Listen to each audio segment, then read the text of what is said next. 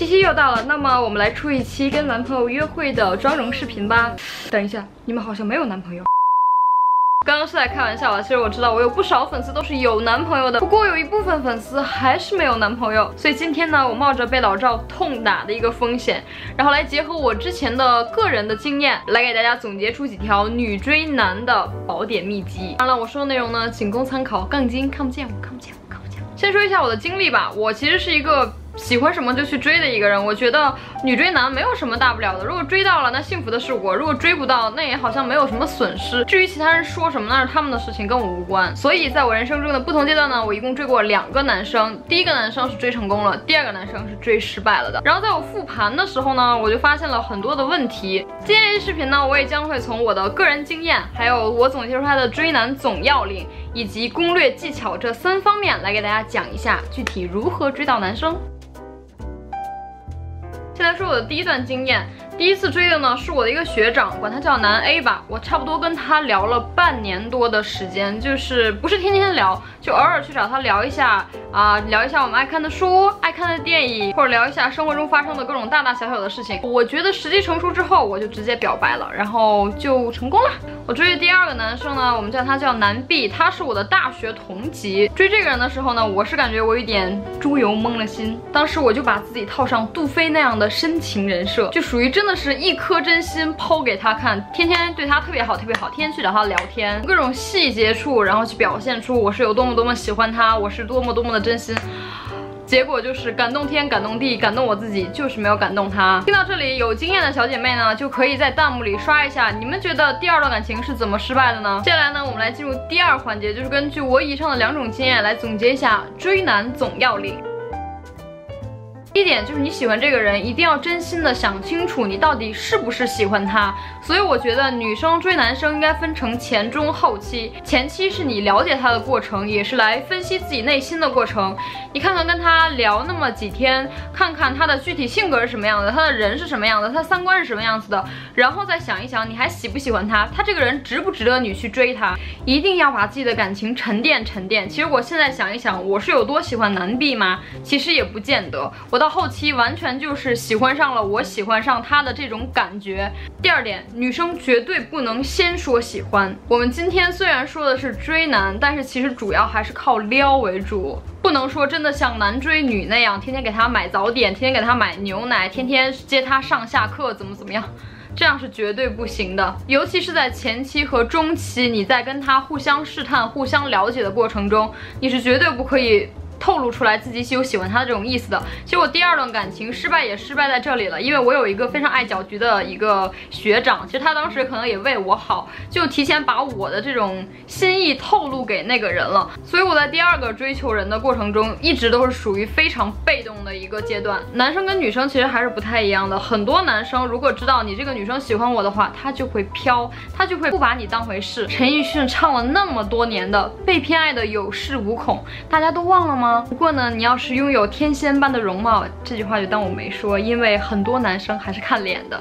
第三点，一定要自信，自信的在他面前展现出自己的魅力还有优点。张爱玲奶奶曾经说过，喜欢一个人会卑微到尘埃里，然后开出花来。追男生的时候，千万不能有这种想法。自信的女孩子。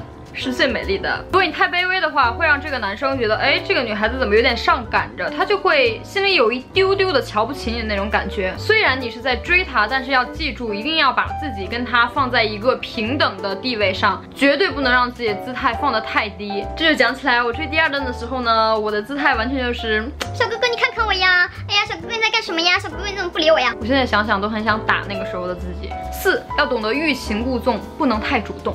还是呢，我追男 B 的的时候也是放的这个大忌。我早晨路过的栀子花树，我放学路上遇到的一只猫，我恨不得把我生活中所有发生的事情都分享给他。当时真的是属于一颗真心捧在手心里献给他。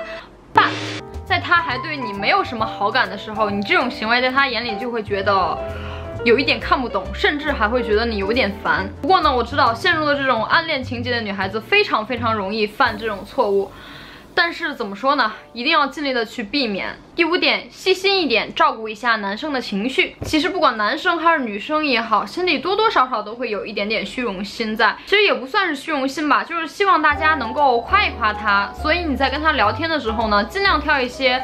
他感兴趣的，或者是他比较擅长的领域去聊，然后听他侃侃而谈。这个时候呢，你就可以在旁边应和一下他，适当的夸他一下厉害啊什么的。这样呢，男生也能逐渐的喜欢起来跟你聊天时的这种感觉。不过在两个人聊天的时候啊，你不能只听他在说，你也要展现出自己的优点。比如说聊书的时候，你也可以说一下。你喜欢什么什么？你的观点是什么什么？就是尽量的展现出来你个人独特的魅力。还有一点呢，是根据我的个人经验来告诉一下大家，如果你追的这个男生呢不算特别高，那么你跟他出去的时候尽量不要穿有跟的鞋，就是越平底越好。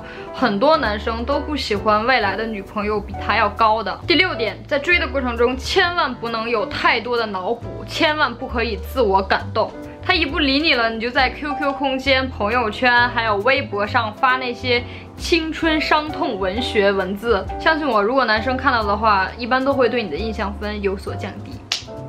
七，千万不要自我欺骗，要告诉自己，好的男生多的是，绝对不可以有那种我非他不可的这种想法。其实女生的第六感真的很强很强，一个男生喜不喜欢你，其实你的第六感是有那种感觉的，你是自己心里清楚的。可是如果你在追求了他很久很久，就是你软磨硬泡，各种方法都试过了之后，你的第六感还是告诉你这个人好像对你没什么感觉的话，该放弃就放弃，千万不要还自我欺骗。就比如。比如说看他给你发的文字啊，多了一个表情，少了一个表情，你都会觉得啊，这个人是不是对我还有点意思呢？我是不是还有点机会呢？千万不要这样，离开了他还会有更好的男生。你们看，就算我没追到男 B 又怎么样？我之后遇到了老赵，你们看现在我有老赵多幸福呀！说完总要领，下面我们来谈一谈攻略技巧。在网上聊的再多，也不如约出门来，让他近距离的感受一下你的个人魅力。那么问题就来了，如何制造约会契机呢？嗯，结合我的个人经验哈，可以让你喜欢的男生稍微的帮一下小忙，就是属于那种他应该能做到的，然后又不会麻烦他，又不会耗费他太多时间，让他觉得烦的那些小忙。这样子呢，你之后就可以借感谢他为由，把他约出来吃饭。吃饭的时候，其实你们两个会有很多很多的进展。首先吃饭的时候，你就能知道。他喜欢吃什么，不喜欢吃什么，这样下次你在 QQ 上的时候就不用担心不知道聊什么了。第二，吃饭的时候呢，你们两个人就能聊很多，而且也能展现出来你个人魅力的一些方面，算是互相了解、互相接触的一个过程。两个人吃饭呢，千万场面不要搞得太僵。你可以事先去多了解一下功课呀，或去找一找有什么话题，你可以在饭桌上聊的，提前记下来。其实一般的男生啊，在跟这个女生第一次约出来吃饭的时候，他是不大可能会让这个女生结账的。所以这个时候，如果他结账的话，那恭喜你，你又有下一次约会的契机了。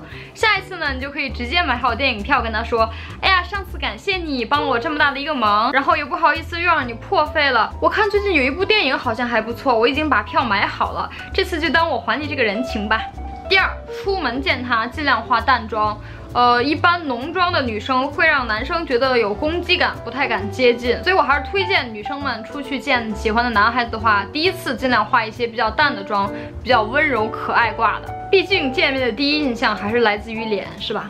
三聊天时可以展现出自己对他的欣赏，但是绝对不能是仰慕。四，如果你是一个游戏玩的非常烂的妹子的话，那么你就尽量不要通过喊他一起玩游戏这种方式来撩他了。当然了，如果他主动邀请你来玩的话，你可以跟他玩一两局，看输的局太多的话就赶紧撤。五，其实很多男生都是有一点小渣的，所以大家一定要及时止损，及时认清这个人。有一部分男生是这样子的，他在意识到你喜欢他的时候，他第一反应不是去拒绝你，他第一反应就是把你像个鱼一样那么吊着，但是又丝毫不影响他在他那片森林里去寻找他想要的那棵树。换一个简单易懂的呢，就是他把你当备胎。他一方面因为非常喜欢你追他而带给他他的那种满足感。一方面呢，又不能带给你什么，也不想跟你在一起，反而还在天天的耗着你。一旦发现你追的男生是这种样子的话，一定要抓紧逃离。六，追他的时候可以先攻略他朋友圈的一些好友，或者是大学里的话，你可以先了解一下他的室友，这样子呢，你就可以掌握第一手信息，看看他最近有没有跟其他的女生在聊天呀，或者说有没有其他妹子在追他呀，又或者说是他最近又遇到了什么心情不好或者心情特别好的一些事情啊，培养一个卧底还是非常重要的。好了，那么以上呢就是我总结出来的追男宝典的所有内容了。当然，可能我有一一些遗漏的部分，如果你觉得我还有哪些需要补充的地方，欢迎在弹幕或者评论里来告诉我，或者你可以在评论或者弹幕里告诉我你现在在追或者之前在追的男孩子，你们之间的故事，你们之间的经历，然后来给其他的小姐妹们做一个参考。七夕节啦，希望单身的小姐妹们勇敢的去追求自己心中喜欢的男生，也希望大家都能追到自己心中最爱的小哥哥。如果你觉得这期视频还不错，还有点价值的话，欢迎给我一键三连，关注我，然后把这期视频转给你需要的小姐妹们。好。